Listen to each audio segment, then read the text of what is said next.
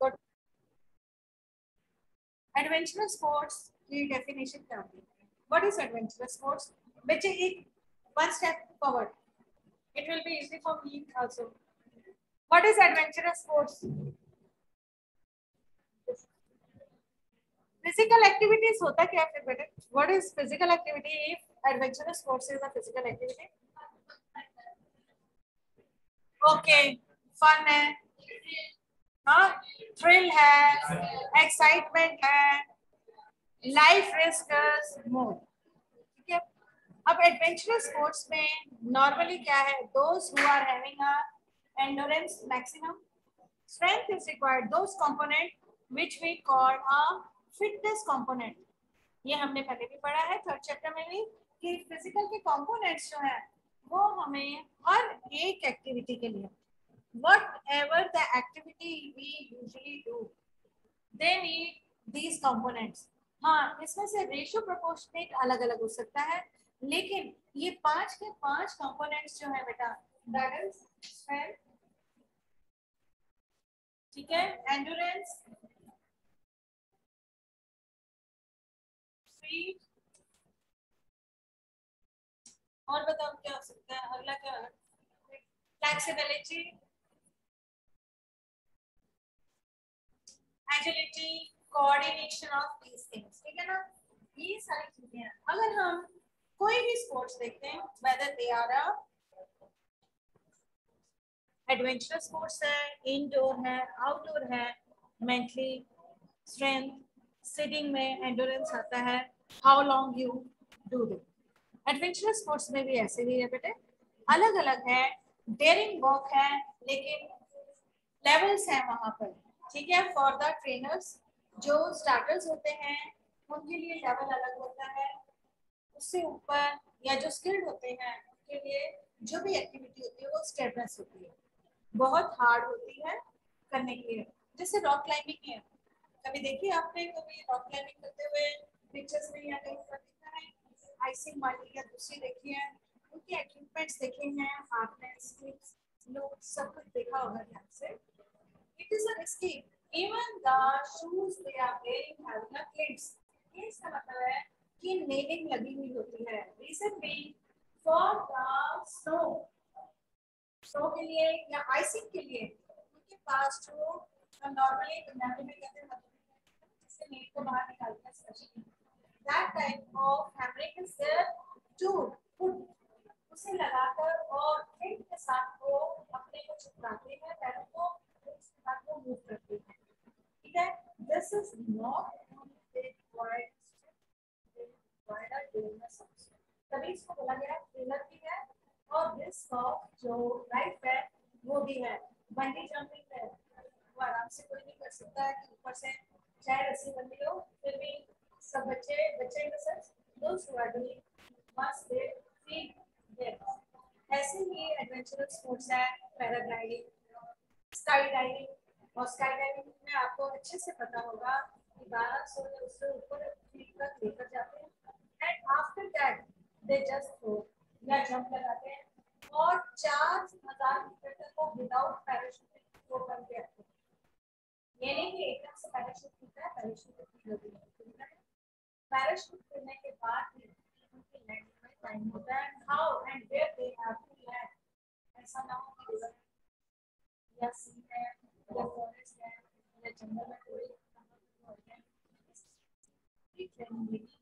कोई भी adventurous sports है उसकी लेना बहुत ज़रूरी है you must be knowing each and everything regarding that sports ये नहीं कोई बात नहीं मुझे मिलेगा है ना सभी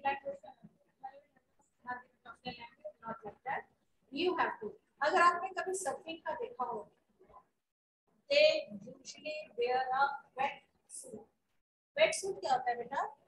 कि उनकी एक प्रॉपर ड्रेस होती है। ठीक है? दैट इज़ लाइक अ चुनी पूरी ऊपर से। उसके अंदर ही इंसुलेटर लगा हुआ होता है। ठीक है? टू कीप बॉडी वार्म इतनी ऊँची लहरों में आना और जाना और भीगने से बॉडी जो है एकदम कोल्ड हो जाती है। ठीक है? उनकी कोट में उनके पैरों के साथ लैशेस लगे होते हैं। ये ठीक है? जो उन्हें हेल्पफुल होती है साथ जब वो बोर्डिंग कर रहे हैं या वेव्स के साथ अप एंड डाउन हो रहे हैं तो they have a fins also it's body पर या उसके साथ लगे होते हैं ताकि any time if any emergency अगर क्योंकि उसमें ये थोड़ी की टीम वर्क रहता है तो उन्होंने कैसे अपने आप को हेल्पफुल रहना है या हेल्प करनी है अपनी इस चीज़ के बारे में उन्हें पता होना चाहिए। हाँ एक ट्रैकिंग ट्रैकिंग और जो कैंपिंग है या उनमें ज़रूर होता है कि that is in a group वो जो है इवेंट्स जो है, ये ग्रुप में होते हैं। लेकिन उसके लिए भी हमें एंडोरेंस की बहुत ज़रूरत है। ये नहीं कि मैं थक गया हूँ they have to reach that point या जहाँ की सर्च करनी है, और उसके लिए भी उनके पास, उनकी प्रॉपर किट होनी चाहिए। और मैट और अलग अलग चीज़ों के लिए अलग अलग इक्विपमेंट्स आने और एक जनरल जब हम पूछते हैं what are the safety measures for adventure sports तो उसमें आता है फ़र्स्ट एड किट ठीक है? अब फ़र्स्ट एड किट हर एक के लिए एक जैसे परमिसिबल नहीं है। जैसे क्लाइमिंग्स वगैरह में है मॉकेट स्ट्रेन स्ट्रेन और स्ट्रेन के साथ इंजरीज जो है वो स्पेशली शोल्डर्स की फिंगर्स की, इन चीज़ों में ज़्यादा सहूलियत होती है। या एंकल से इसीलिए उसको स्प्रेन मिला गया। स्लिप हुए पैर भूल गया या कुछ। सर्विंग वगैरह में सर्विंग में जो है, या पैराग्लाइडिंग में इंजरीज के चांसेस जो है, या ब्रेकेज जाओ ज़्यादा जैसे कि टाइमिंग जो है, उसके लिए ठीक है? क्योंकि देयर इज़ नो चांस अगर पैराशूट नहीं खुला खुला तो सारा काम हमको आपने देखा होगा कि जो स्काई डाइविंग वाले होते हैं, वो एरोबेटिक्स वगैरह ऊपर नहीं करते हैं ग्रुप्स में या सिंगल फॉर्म्स में। इसमें उन्होंने विंग सूट्स डाले इसमें एयरफील्ड होती है, और वो वहाँ पर स्काई में ही काफ़ी सारे एरोबेटिक्स ये दिखाते हैं।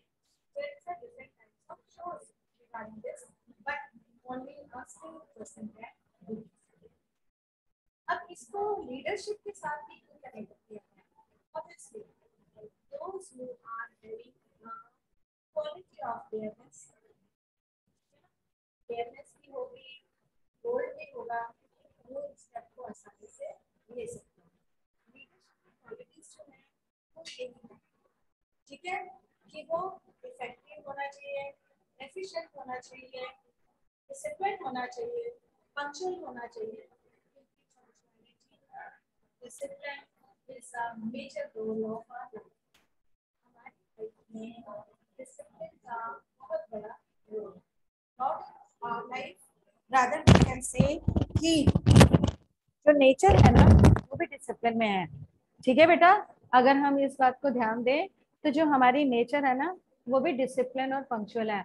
अगर वो थोड़ी सी गड़बड़ कर जाए तो ये जो रिजल्ट्स आते हैं ना हमारे पास क्वेक आ गया, ये हो गया दीसा दे आर डिसिप्लिन की सूरज ने सुबह उगना है तो शाम को उसने छिपना ही छिपना है। ठीक है? मौसम्स में जो है या सीज़न जो है, वो अपने अकॉर्डिंग आते हैं। दे आर ऑल्सो डिसिप्लिन अगर वो अपने ऑर्बिट से हिल जाए या चेंज हो जाए तो सारी कायनात जो है, वो हिल जाएगी। अगर वो अपने डिसिप्लिन में है तो जो पर्सन है, उसके लिए भी डिसिप्लिन होना बहुत ज़रूरी है।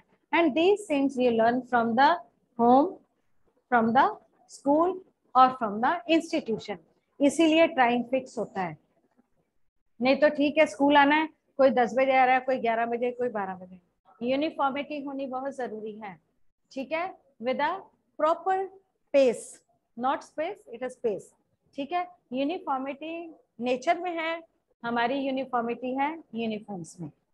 ताकि रिकॉग्नाइजेशन हमारी रहे हर बच्चे की। अदरवाइज़ माइंडसेट जो होता है, वो अलग होता है। वो इतनी अच्छा इतनी हिल डाल गया था, मैं कल इससे चेंज वो इतनी टाइट पेन डाल गया था, मैं इतनी इस यूनिफॉर्मिटी को लाने के लिए हमेशा स्कूल्स में या इंस्टीट्यूशंस में ड्रेस यूनिफॉर्म ली जाती है। और कोई रीजन नहीं है कि यूनिफॉर्म क्यों पहनाए जाते हैं। पंक्चुअलिटी क्यों होनी चाहिए? अगर टाइम फिक्स नहीं होगा तो कोई भी काम फिक्स नहीं होगा। और ये चीज़ें जो है हमारे स्पोर्ट्स में they play a major role ठीक है? अगर कुछ अचीव करना है लाइफ में तो for that you need punctuality, regularity discipline and all. Then only you can learn the things उसी के द्वारा सीखा जा सकता है। ठीक है? अब इंटरेस्टिंग ये है कि आपने जितनी भी अगर गेम से रिलेटेड मूवीज़ देखी होंगी या डॉक्यूमेंट्रीज देखी हो, कभी देखी है? एवर यू सीन कौन सी देखी है बेटे आपने? है? केड़ी पिक्चर बेटा?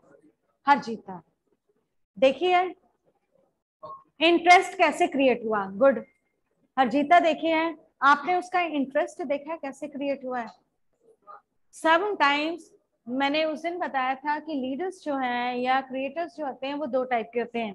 एक इनबिल्ड होते हैं बाय बर्थ एक according to the inspiration of others और बाय द सर्कमस्टांसेस उस बच्चे के लिए सर्कमस्टांसेस थे कि उसको ड्रेस वो चाहिए थी that was attractive for that child ठीक है ना, हरजीता में। एंड लेटर ऑन उसको इंस्पायर करने वाले मिले। उसमें एबिलिटी थी। हिंड्रेंस एबिलिटी को बाहर निकालना, उसे इंस्पायर करना, उसे उस तरीके की फैसिलिटीज़ प्रोवाइड करनी, तभी हम किसी चीज़ को अचीव कर सकते हैं। And you should be thankful you should doesn't means you people do class we all should feel thankful to God that we are having each and every part of the body और उसके बाद भी अगर हम complain करें या हम शर्क करें it means there is a lackness in our ठीक है? हमें है कुदरत के द्वारा या हमें जो चीज़ें मिली हैं और कुछ चीज़ें खुद खुद भी हार्ड वर्क से लेनी होती है लीडरशिप में हार्डशिप आता है। ठीक है? हार्ड वर्क जो है, वो हमेशा पे करता है। That need a patience patience भी चाहिए है। जब हम बोलते हैं, नहीं, अभी करके, अभी मिल जाए it is not a good thing gradually progressively step by step you can easily reach the apex किसी भी चीज़ के टॉप पे पहुँचने के लिए हमेशा हमें क्या step by step in a proper order जब हम चलेंगे तो हमारा वर्किंग भी स्मूथ रहेगा, हमारी अचीवमेंट्स भी प्रॉपर रहेंगी, और definitely we will reach the apex और the summit of that place ठीक है? इसलिए ये बहुत ज़रूरी है कि हमें हर काम जो है वो प्रॉपर करना चाहिए। ओवरलोडिंग कहीं पर नहीं होनी चाहिए। ओवरलोडिंग का मतलब पता है ना? ये भी हो जाएगा, ये भी हो जाएगा, नहीं। जब हम टाइम मैनेजमेंट करते हैं ना बेटा तो हमारे ऊपर ओवरलोडिंग कभी नहीं होती।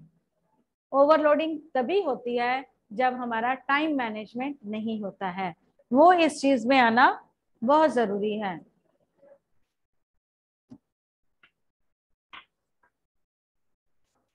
मेरा नाम हैगा? नहीं है।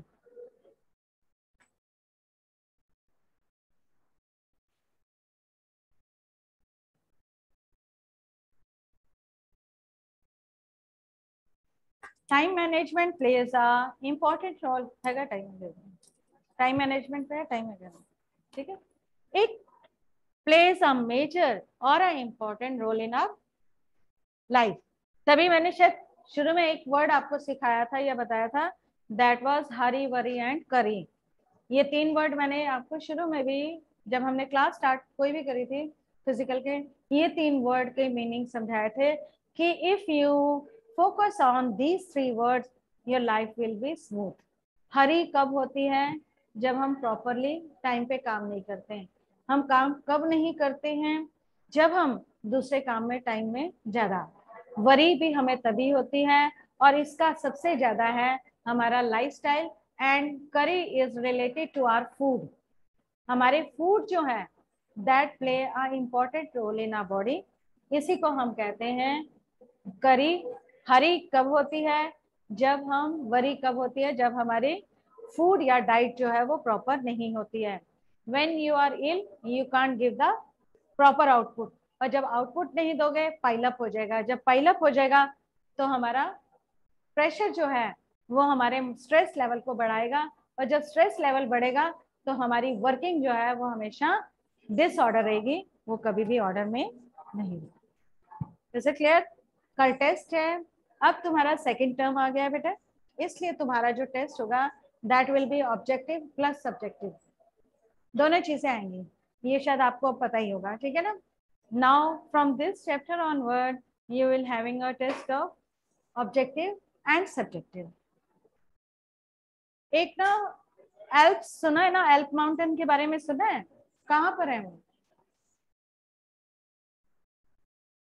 कहाँ पे है? एल्प्स इसका इंपॉर्टेंट है, तभी मैं बता रही हूँ कि एडवेंचरस स्पोर्ट्स से इसका रिलेशन है। नहीं एल्प्स नहीं है ऑस्ट्रेलिया में। अमेरिका अमेरिका में, ठीक है? ये जो माउंटेन्स है ना, इनकी जो चढ़ने का या आइसिंग के कारण यहाँ पर मैक्सिमम जो माउंटेनरिंग के लिए लोग जाते हैं ना, वो यहाँ पर जाते हैं दो सुअर्स के क्योंकि मैक्सिमम स्टेयरनेस जो है, वो यहाँ पर होती है। और ये कई बार माउंटेन क्लाइंबिंग नहीं बोलते हैं या माउंटेनरिंग ना बोलकर बेटे मैंने शक्ल तामी नज़र आती है भी कर ला इदा कुंड भी कर हाँ बात बहुत ज़रूरी कर लो बेटा एल्पनेस भी बोलते हैं इनको एल्पाइन माउंटेन्स वगैरह ट्रीज की जो होते हैं उन्हें इस नाम से भी पुकारा जाता है जैसे सरफेस वाटर जो है वो वाटर सर्फिंग के लिए यूज़ होता है they are having a second name also ठीक है इनके सेकेंड नेम्स भी होते हैं इसलिए कंफ्यूज मत होना कि ये क्या चीज़ है। ठीक है? Is it clear now anything you want to tell me आप मुझे कुछ बताना चाहते हो या मुझे कुछ ज्ञान देना चाहते हो तो दे सकते हो। नो आई एम रेडी बेटा, मज़ाक नहीं है, कोई ज़रूरी नहीं है। प्लीज़ आपने अभी नहीं, पेपरों के बाद टाइम निकालकर 10 से 15 मिनट तक एक चैनल आता है स्पोर्ट्स का, उसे ज़रूर वॉच किया क्या करना है? हाँ जिनमें आप देख सकते हो एडवेंचरस स्पोर्ट्स ठीक है? जिसमें आते हैं नॉर्मली जो विगरस गेम्स हैं उनके बारे में। ये ज़रूर अगर चैनल देखोगे, इसलिए नहीं देखना कि मैडम ने बोला है। You will come to know about the different things to enhance your knowledge कोई भी चीज़ जो है, उसे अगर ध्यान से देखा जाए और that will enhance your knowledge और जैसे हम फार्मूला वन की देखते हैं ना, कार रेसिंग उसका वे देखते हैं। माइकल शू देखा है उसका शू मेकर नहीं पता। चलो। नहीं, चलो, ठीक है। तुम्हारे लिए ये न्यू सब्जेक्ट है, इसमें कोई बड़ी बात भी नहीं है। ठीक है? तो ये क्या है? या किस तरीके से ये लोग करते हैं? इसके बारे में थोड़ी सी नॉलेज लेना ज़रूरी है। अब हैंड ग्लाइडिंग है। कई बच्चों ने की भी होगी। क्योंकि जब हम कश्मीर या उससे हाई उस पर जाते हैं तो दे यूजली गिव स्कीन है, ठीक है? जितने भी स्कैंडिनेवियन कंट्रीज़ हैं, बर्फ़ वाली कंट्रीज़ हैं, वहाँ पर विंटर ओलंपिक जो होते हैं, वो आइस पे ही होती हैं। बॉक्स फ्लाच जो है, वो भी इसी पे होते हैं। स्लेजेस रेंडियर स्लेजेस जो है, वो भी इसी पर होती हैं। तो ये क्या है? ये different types of games adventurous game शायद हमने देखे नहीं, हमने नाम भी नहीं सुने। हमारे पास भी इतने सारे नेम्स भी हैं जो हम आपको वो कर सकें। इट इज़ ओवर 120 या 125 हैं गेम्स के नेम और अलग अलग गेम्स हैं जो रिलेटेड टू एडवेंचरस स्पोर्ट्स हैं। ठीक है? This is all regarding this chapter and the revision of this chapter next जो चैप्टर है ना, उसका जब कल हम स्टार्ट कर सॉरी परसों करेंगे, उसमें एबसेंट मत होना, क्योंकि वो बहुत टिपिकल ऐसे नहीं है कि हम बुक में से पढ़ लेंगे हो जाएगा नो डाउट बुक से पढ़ने से हो जाता है। लेकिन अगर आप सुनकर उसे समझ लोगे तो आपके लिए वो लर्न करना काफ़ी इजी हो जाएगा इसलिए है, और कोई बात नहीं है। प्रेजेंट आज भी काफ़ी बच्चे हैं, और होप करते हैं कि कल और ज़्यादा टेस्ट देने आएँगे, फिर परसों से और ज़्यादा बच्चे आएँगे। कल मेरे चार्ट भी लाने गायब मत हो जाना। मेरे लिए ज़रूरी है और कल गायब हो जाए ठीक है? दैट्स ऑल फॉर टुडे अब you you can ask me anything if you want हाँ जी what do you want to